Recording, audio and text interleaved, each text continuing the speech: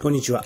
こんにちは。小原田水久です。小原田博美です。イルカの時間です今日も会いましたね。そうだね。うん、これぐらいの割合がいいんだよ。そな。う。な、まあ何割ぐらい合えばいいのわかんないけど、あなたの感覚で言うと。え？あなただったら、まあ、2割ぐらい。おー、2割でいいんだ。んええ2割あればバッチリでしょ。あ、そう。うん3割バッター目指すのかと思って。うん。それでさ、なんかあなた随分昨日動いてたね。昨日はなんかすごい動いたよ。あの、白金高輪行って、横浜行って、大井町行って、んで帰ってきました。ああ、そう。うん。昨日もね、あの、この前、前にあなたと一緒に行けなかった星野さんの、星野道夫の旅というさ、あの特別展、没後20年ってことで、これが高島屋だったんだよ、横浜の。横浜で行ったの横浜だったんだ。うんうん。東京で行けなかったからさ、絶対これ見逃しちゃいけないなと思って、30日までだったから、うん。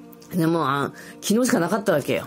その用事 A と用事 B の間しかなかったからさ、うんその間横浜までちょっと頑張って行って、うん。駆け足だったけど行ってきた。ああ、そう。よかったわやっぱ。うん。いいよね、あの星さん。うん。うん。何なんだろうね。でもねなんだろう、うん。高砂さんはほら毎年のようにこうね、拝見してて、高砂もすごい素敵だけどこの人の方が人間っぽい？うん。ああ、そ感じしない、う。うん。まあ要は人物を撮ったものが多いからかもしれないけど、うんなんかねそうだな。まあだから面白いよね、その、同じこう対象物を取っててもさ、高砂さんのこの目線とね、星野さんの目線また違うんだよな。うんうんうんうんその辺の面白さはあるよね。写真ってのはそういう面白さがあるんだよな。だから私はさ本当にただシャッターを押すだけと思ってたじゃん、カメラってシャッターを押すだけだけども、スマホの時代になってさ、ん。同じスマホを持ってるんだよ別に機種が違わない、ん。同じ iPhone を持っている、でもなぜ彼女の写真は綺麗なんだろう？なぜあの人の写真は素敵なんだろうって思った時に、やっぱりこれが写真の面白さなんだなと思った。スマホで感じた。うん。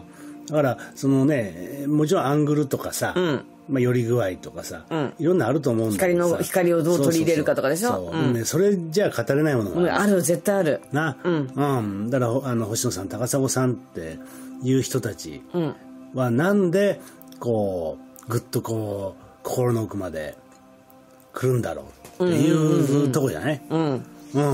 例えばさ、まあ、ないと思うけどもし横にくっついてって一緒にツアー連れてってくださいって言ってさ、高砂さんの横についてって、高砂さんがシャッター切ってるところ、横で私が iPhone で撮ったとしても、全く違うよねきっとね、違う iPhone じゃなくて同じカメラを同じように撮ったって違うんだろうな、う。ん違うと。思う、んそれはもう断言できる。うん。だから本当にこう気の世界だからなこう写真っていうのはな、何の気をそこに映し込むかっていうかさ、うん。だから切り取るかなのかな？いやでも撮ってる人のエネルギーも入る。はいもちろんもちろんもちろん。な。あるよね。うん。だからどういうどういうこう思いでシャッターを押してるかうん。というのもあるよなうんうんいやうん、うん。そう、うん、だからねあの本当に、えーシャッター切れば写真は写るもんだって、ーうん。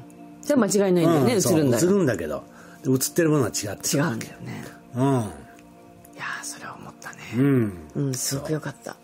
うん、だから本当にその瞬間だからな、うん、そんな熊がさ同じ方向 3, 3トンの熊がさ。そうそうこのねあのポスターっていうかさチラシの回ってる親子だよね。同じ方向を見てなんかを熊こう語りかけてるわけだかちょっとほらあっちだよみたいな、うん。あ見てごらんみたいなら、さ、うん。うん、あ何？っていうかそういったものをねやっぱ感じ取ってるんだよな、彼らはね。ねえ思った。本当思った。うん、うん、だからこう本当に何に対してもそうだと思うんだよね、あの感性っていうかさ、ねうん、あの日々の生活の中でさ、どういろんなものを感じ取るか、でそれは五感で感じ取る人もいれば、六感七感っていうので感じ取る人もいればな、まあ、いろんなのあるんだろうけどさ、どう感じ取るかっていうのは大事だな。そうだね。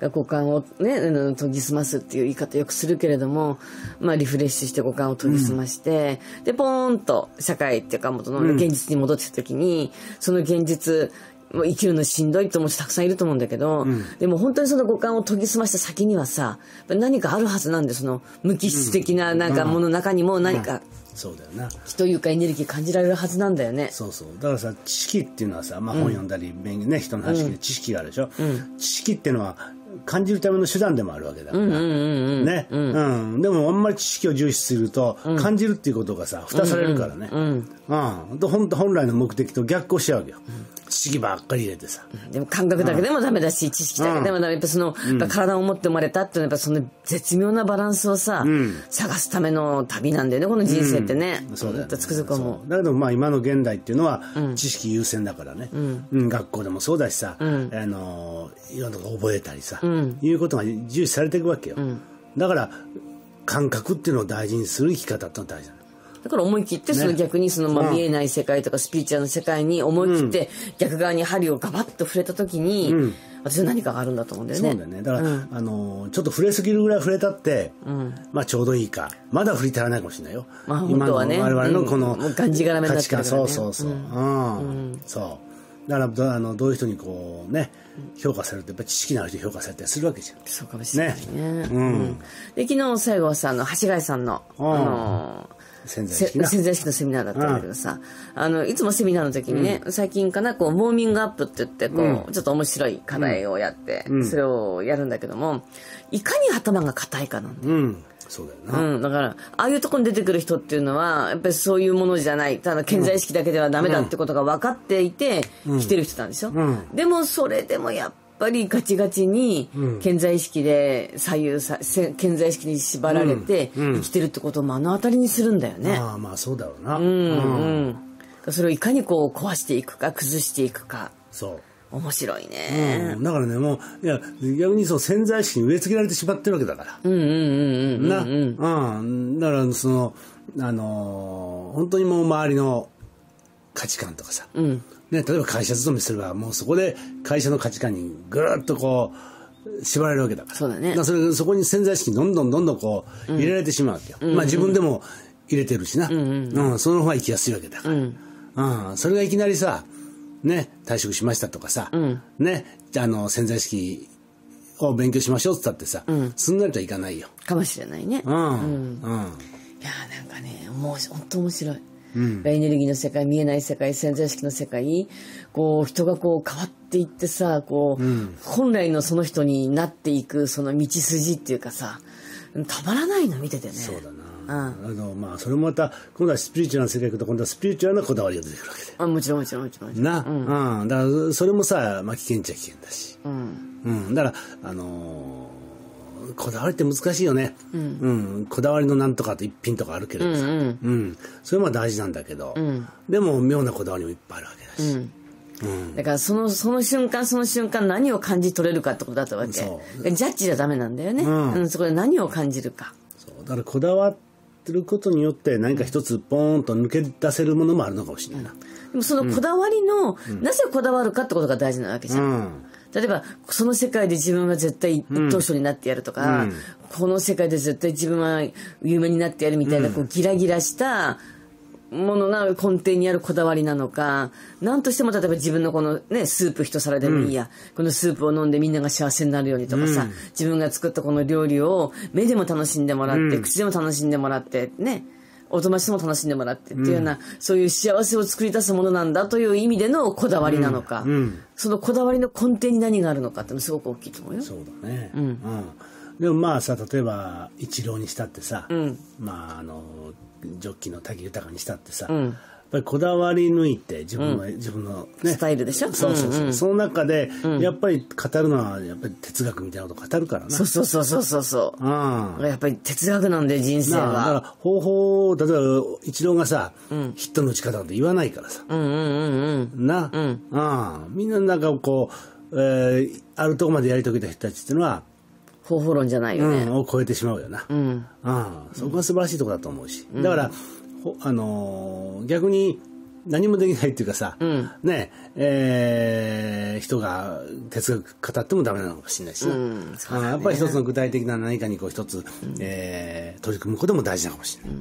うん、それで哲学を語るような大人になるのも一つかもしれないし、うん、逆に言うと本当に無邪気な子供に戻るのも一つかもしれない。そうなんだよね。へりくつを言わずにさ、つべこべ言わずに。うん。だからさ、まあね、あの、鴨川の王ちゃんじゃないけどさ、うん、2回もがんをやり、うん、ねえー、生きる死ぬを考えた上で自然栽培に取り組んできた、やっぱりその彼の、えー、そういう命に対する捉え方っていうのはまた違うはずなんだよね。そうだよね。うん。うん、すごく興味のある人間でな、彼なんだな。うん。うん、いや、だからね、その背景にあるものその人がその、うん、そういう決断をするに至った背景にあるものとか、うん、その人が犯しているものとかさ、うん、これが多分あの橋川先生が言ってることなんだと思うんだよね。そうなんだよな、うん、そうだな。核心なんだよ。そうだよね。何がその人を動かしているか。そうそうそう。でもそれは、まあ、究極はサムシンググレートになるわけでしょ、大いなる存在がっていうことで、まあ、村上先生じゃないけどさ。だからそういうものがこう後押してくれてるっていうかさ、ね。えーやりなさいって言ってくれてるとか、まあ、導いてくれてるとか、うん、ね、そういったものに